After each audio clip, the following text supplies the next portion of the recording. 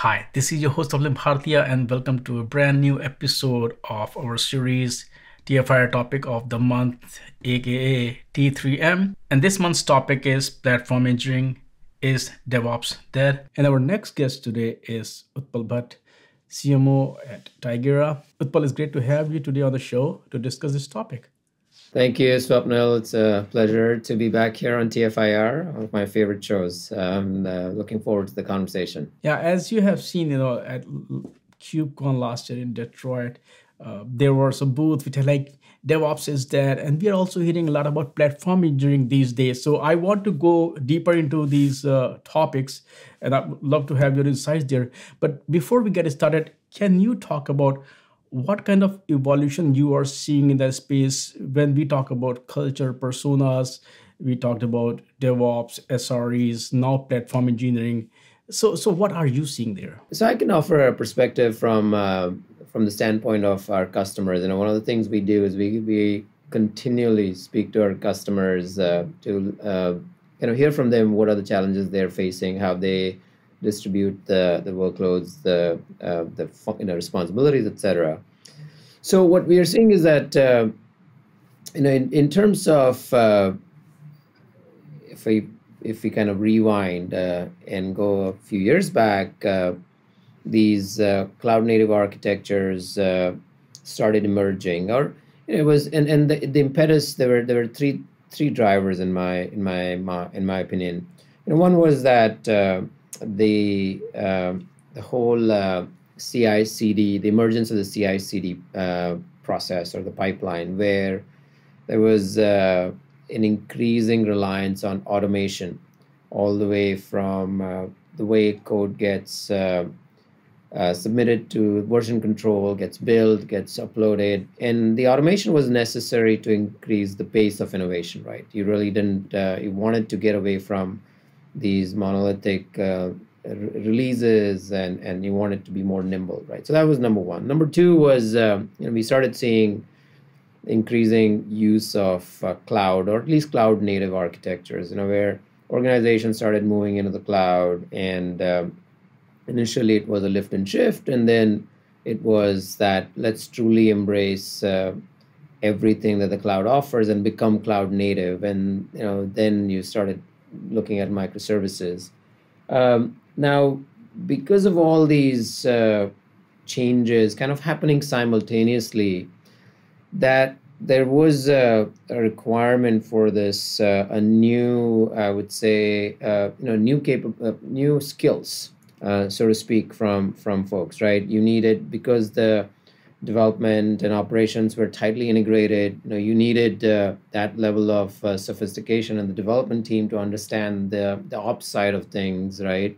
There, you know, that's the DevOps team. DevOps was born, and then uh, because a lot of these, uh, uh, a lot of these uh, functions were automated, you know, it introduced more security gaps and all of a sudden you now had to start thinking about security as well uh, early on in your and so there was this uh, increasing uh, uh need for shift left and security and so on. Uh, but then at the same time you know we also saw that uh, there there is you know if we fast forward now you know two years three years and we take stock of you know where things are you know, we still find that you know, there is uh, still uh, a need for some sort of specialization. So, for example, when people start talking about DevOps is dead, it really originates from the fact that because your development team had to understand a lot about the infrastructure, sometimes you took away your best developers and put them on ops kind of problems. And uh, you know, was that the best thing for your business? Uh, you know, should they be really focused on your core uh, business applications rather than worrying about infrastructure challenges and you know is there an opportunity to centralize that and have a single group that that specialize in that you know i.e the platform engineer? And then the same thing around the security side of things that you know we were kind of insisting on shift left but uh, you know do all the developers and devops people understand everything that that's required from a security and compliance standpoint? And uh, on the other hand do all the security people understand the nitty gritties of uh, a cloud native architecture and the surface area, and you know, not only do they understand, uh, do they actually want to? Right? Is that they're they're in their wheelhouse? So you know, we also see that the need for a little bit more specialization, and I think it'll continue to be the case. In other words, you know, if I had to, I'm not a, I'm not a, uh, uh, I, I don't, I, I guess I, I, can't foresee things. Like I, am not a fortune teller, but if I had to, if I had to uh, see how this is going to evolve, I do feel like there is a room for specialization. I think that we'll need we need to have developers and operations people and security people work very tightly with each other. I don't think all those roles are going to morph into one, and uh, that's a pipe dream that will not that will not happen, in my opinion. When we look at platform engineering, DevOps, SREs, are do you see them as evolution? Or you see them so if i ask you to make a venn diagram they're like hey they, they all have their own supersets or they also overlap. The reason i'm asking is also as we're talking going to ask you know the the big question is is devops dead? Is that are they going to replace itself or no? Organization will uh, need all of them. So i just want to understand you know how would you define platform engineering? How different it is does that question make sense? Absolutely it makes sense. Now you know if you look at it as a from a functional standpoint which means that you know what uh, what uh, aspect of uh, if you look at the entire CI/CD and and all the way to deployment and production that uh, you know what percentage of the time needs to be spent on on development and then integration and then deployment and then managing the infrastructure and then looking at it uh,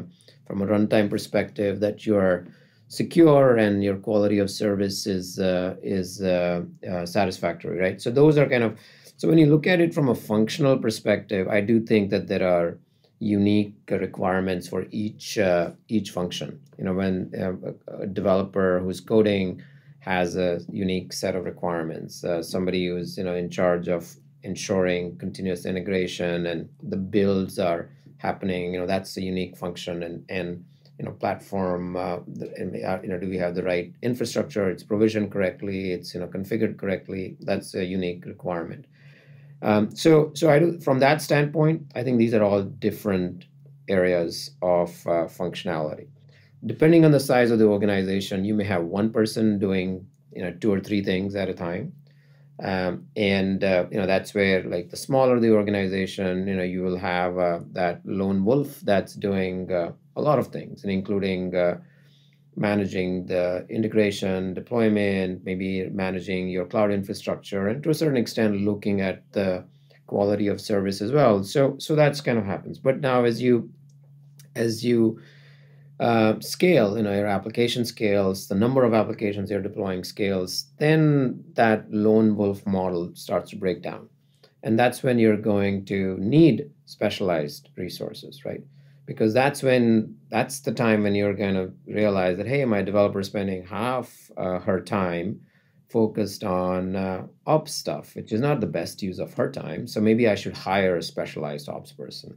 Or you know my ops persons look you know investing half their time in understanding security issues you know that's not their their wheelhouse maybe i should hire a security person and so i think the larger the organization the uh, more things you operate at scale the more uh, specialized functions you're going to invest in and they all have to work together so that's kind of how i would explain that uh, you know the emergence of or re-emergence of platform engineering I see that in pockets where um, organizations are operating at scale, and and that is very important. I would love to hear if you can. I mean, it's really hard, but I, I mean, not hard for you, but how would you define platform engineering? My definition of platform engineering, I would just like to uh, um, kind of retell the definition I hear from our clients, our customers, right? Because we have companies uh,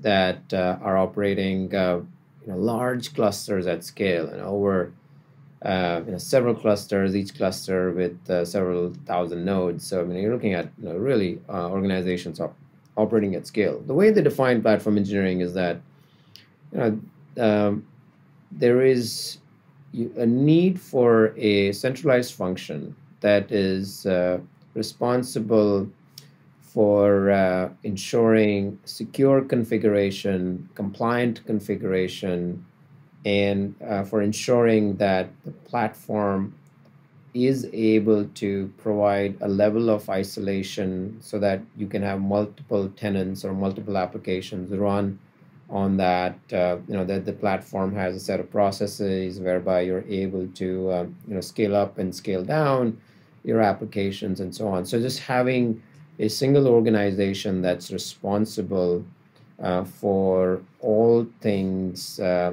security compliance uh, the availability and uh, the scale of your environment is what a platform engineering uh, team does. Now let's let's uh, talk about the elephant in the room, which is uh, is DevOps really dead? Can it really die? Is DevOps dead?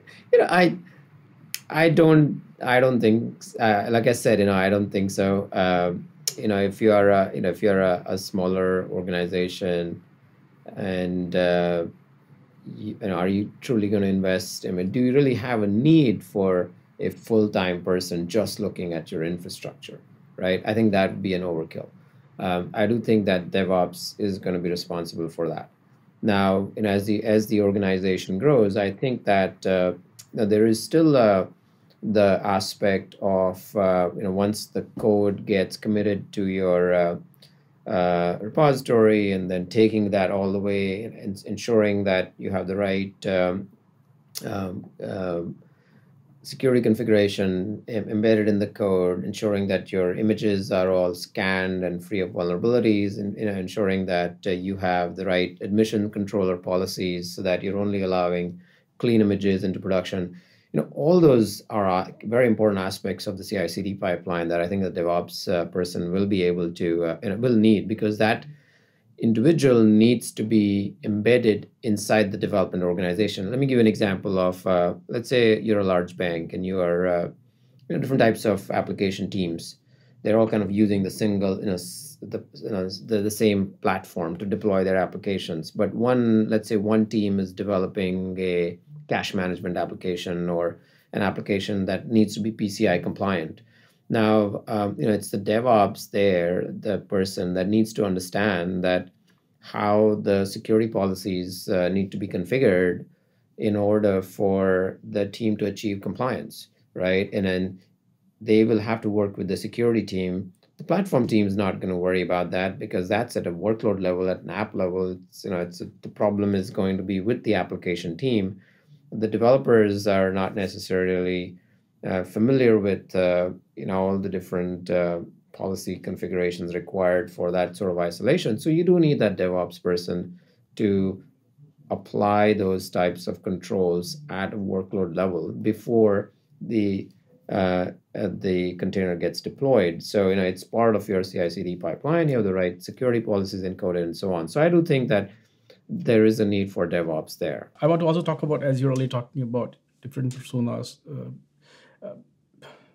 if we just break things down, uh, yes, we we love to talk about technology and software, but uh, companies, you know, uh, people they want to create companies, solve problem, create product, create services, uh, and developers, you know, they write all those business applications, but we get overwhelmed with all this complexity of cloud native, you know, and most of the time, you know, people are they spend a lot of resources in this uh, plumbing versus you know the resources. So, uh, but these days we have started talking a lot about developer experience to bring back that developer experience as well. Uh, so can you explain what how would you look at developer experience and what are companies doing to developer experience? And also if you can also talk what Tigera is doing to help companies in kind of bringing that experience back. You know so i think the developer experience uh, um, i mean i feel like that can be defined in, in many in many different ways right? And uh, you know, developer experience uh, could be a very holistic uh, view, right? That how do you treat a developer and the developer comes to your website. Now you know in many cases developers are the users of your product. They may not be the end buyers of your product but are you treating them um, you know as if they were the end buyers right? Like bring and and that experience that you're providing um, all the way down to uh, you know the, your product itself. So so the way in the way, uh, what cloud native applications have done is that I mean, developers have always been at the center of uh, of uh, um, you know, technology um, products and as, as as a central user. And I think cloud native applications make that uh, even more prominent. The importance of the developer persona, and and here's why, right? So the cloud native architectures fundamentally because they are um, you know highly uh, they're complex architectures let's face it right? They are very ephemeral they're distributed they are uh, uh, you know they scale up and down and sometimes uh, you know some of your containers are short-lived and there's a lot of automation built into it that uh, in the past uh, you know you let's take an example of a security operations team or a security team that they could you know they they had a general understanding of of how things would work and you know all the architecture and and you know because of a traditional waterfall model. But uh, with the cloud native architecture um, you know, the security team often runs blind and has to rely on the developer mm, to play their part in helping uh, you know create a more secure application right? So um, uh, the developer like i said is you know is, is a central entity and uh, at the same time, you know, developers are primarily concerned with uh, the business uh, aspect of the application, not the ops or the security. You know, it's some somebody else's problem. So, I think the developer experience is uh, what in our world developer experience means is that you know, how do we help uh, uh, developers by you know becoming an enabler uh, or as opposed to an inhibitor. And oftentimes, security products are in, seen as inhibitors because uh, you know so many stories we have heard where the development teams will say, you know what, our security team is always blocking. You know, our pace of innovation gets reduced. Uh, down to a crawl because anything anytime we come up with something new the security team says no you can't do this you can't do that you can't do this. you go fix this go fix that and you know we can we are never able to release anything or launch anything right and that's an example of security becoming a business inhibitor so what we do with the developer experience and help there is that uh, you know, we certainly want the applications to be highly secure and, and highly compliant. But what we do is we help prioritize what are the most important things the development team needs to fix.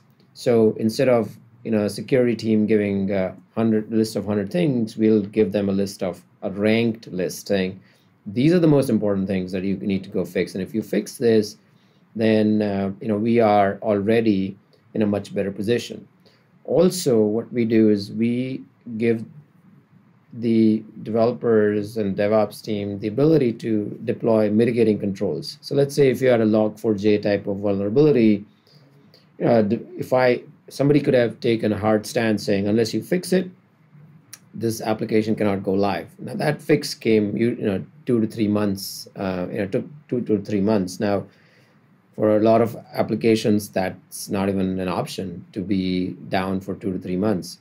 So what we have is we provide the ability to uh, have uh, security controls that can limit access to the pods running those log4j containers so that you have this extra layer of security that uh, you have built around those most vulnerable aspects of your application, which buys the developer team a bit more time to fix, right?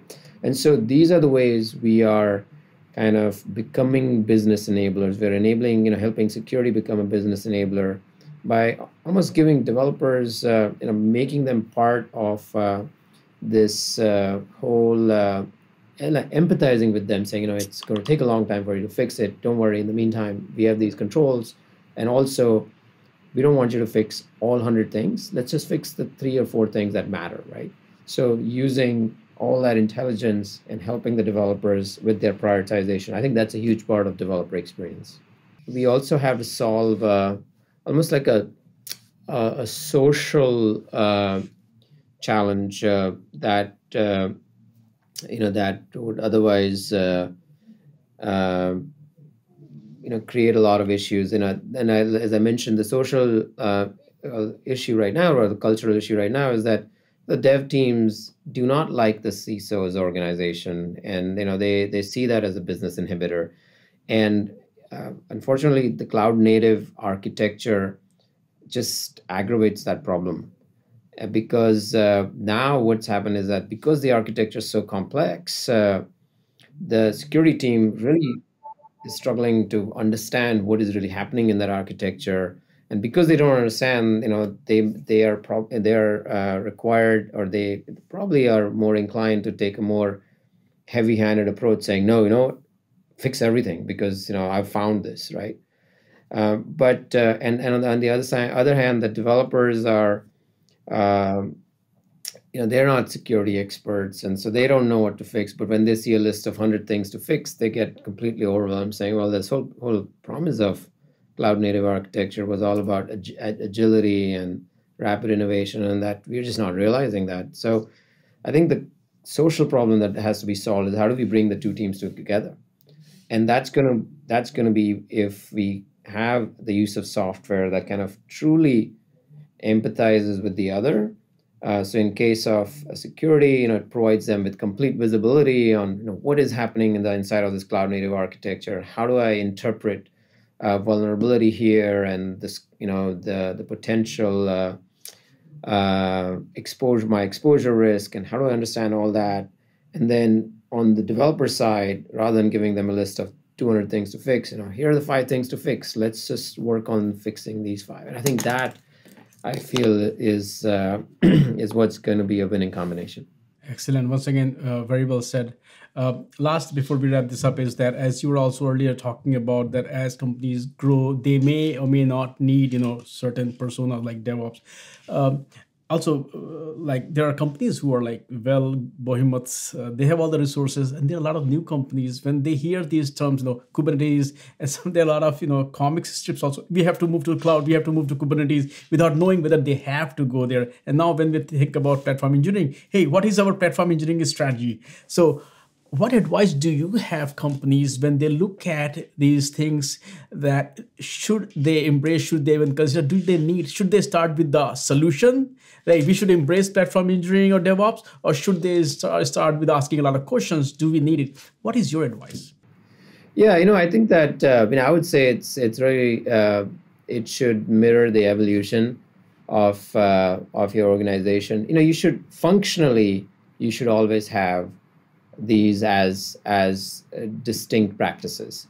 You know, you should have your development uh, best practices, deployment best practices, infrastructure management best practices, security best best practices. Functionally, you should have these best practices as early in your uh, in your life cycle as possible. Whether you staff it with one person doing three things at a time, or whether you have each thing being done by a unique individual. That's just a function of your scale and the maturity of your organization. As you know, the larger the organization, the more mature the organization, you should staff those functional areas by uh, you know a separate uh, separate uh, individual in charge of that. Uh, but uh, um, whether you are a small or large, you should see those as distinct things. You know, development is different CI/CD management is different. Managing your infrastructure is is different. It has a different set of skills and processes needed. You know, monitoring the runtime uh, uh, profile of your application, both from a security and quality of service, is different, and you need a different set of rules, right? So that's how I would. Uh, that's how I think about it.